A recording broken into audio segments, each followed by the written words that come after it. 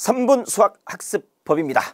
자, 수학 고수가 되기 위한 비밀 이야기가 있습니다. 수학 고수, 수학 고수가 되고 싶습니까? 비밀 이야기. 어, 오늘 이야기 하나 해드리도록 하겠습니다. 어, 옛날에 고대의 그 인도, 고대 인도에 가보면 뭐 지금은 뭐 바라나시라는 어, 인도라는 도시인데 그때 전설이 있다고 합니다. 그때 어, 아주 큰 그 인도의 사원에서는 높이 50cm 정도의 다이아몬드 막대 세 개가 딱 서 있겠고 거기에 가운데 구멍이 뚫린 가운데 구멍이 뚫린 순금 원판 64장이 이렇게 있었다고 합니다. 64장의 순금 원판이 쭉쭉 있었습니다. 근데 원판이 크기가 다릅니다. 응? 그래서 그걸 이제 그런 전설이 있었는데 어, 그것을 우리가 이제 이거 뭐 하노이 탑이라고 하죠. 하노이 탑. 요거 이렇게 원판이 있 었다 이거죠. 이게 64개가 있다 있었다라는 겁니다. 뭐 초등학교 뭐 창의사고력에서 많이 갖고 있는 교구인데요. 이게 이제 하노이 탑 교구입니다. 64개가 있었대요. 근데 이것을 다른 기둥으로 모두 옮기는 그런 날이면 지구가 멸망한다는 그런 전설이 있다고 합니다. 음. 그랬을 때 근데 규칙이 딱 한 가지가 있어요. 원판이 작은 거 위로는 큰 원판이 들어갈 수가 없어.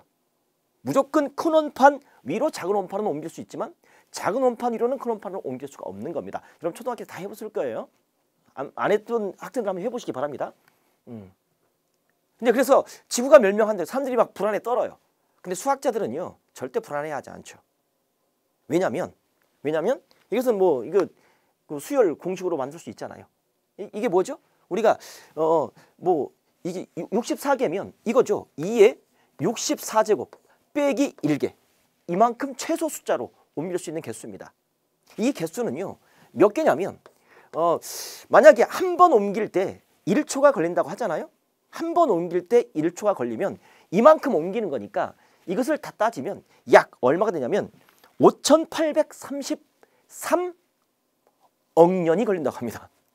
한 번 올릴 때 옮길 때마다 1초라고 해도 이게 5,833억 년. 어, 어마어마한 숫자죠. 여러분 걱정 안 해도 되겠죠? 그러니까 지구가 멸망할 걱정이 없습니다.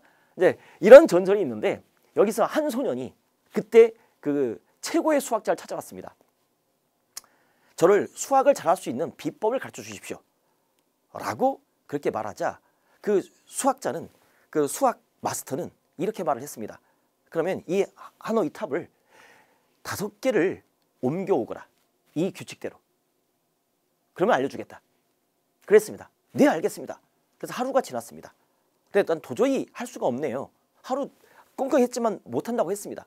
그럼 다시 가서 해오거라. 또 하루가 지났습니다. 어 해냈어요. 이제 알려주세요. 수학을 잘하는 비밀을 알려주세요. 그러자 이제는 일곱 개를 옮겨오거라. 라고 했습니다. 알겠습니다. 그 다음 날이 됐습니다. 응? 어 해냈어요. 일곱 개 이거 직접 해보는 겁니다. 잘했다. 이젠 수학의 비밀 알려주세요. 이제는 마지막으로 열 개를 옮겨오거라. 그랬습니다. 그러면 반드시 알려주겠다. 하루, 이틀, 삼일, 일주일이 지났습니다.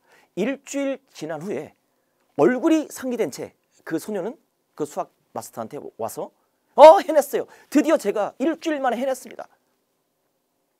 그러면 10개 이제 알려주십시오. 수학의 비밀 알려주십시오. 라고 하니까 그 수학 마스터가 뭐라고 하는지 아십니까? 이미 나는 너에게 그 수학을 잘하는 비밀을 알려 주었다. 이미 너는 그것을 알고 있다라고 말을 했습니다. 조금 허망한 얘기일 수도 있겠지만 이것이 수학을 잘하는 비법입니다. 작은 문제를 오랜 시간 동안 푸는 겁니다. 이것들이 수학자의 공통적인 특징입니다. 여러분은 어떻습니까? 많은 문제집, 많은 문제를 작은 시간에 풀려고 막 미친 듯이 똑같은 유형 반복하고 있지 않습니까? 그러니까 고등학교 가서 수포자의 길로 가는 겁니다. 응? 60%가 수포자 되지 않습니까? 한번 생각해 보시기 바랍니다. 이것이 수학의 비밀입니다. 지금까지 수학 만점으로 가는 계단 쉽게 가르친 선생 넘버원 이지훈이었습니다. 수학이 어려워 절대 포기하지 마 개념이 흔들려 절대 포기하지 마 원리가 헷갈려 절대 포기하지 마 수학은 easy easy easy 이지훈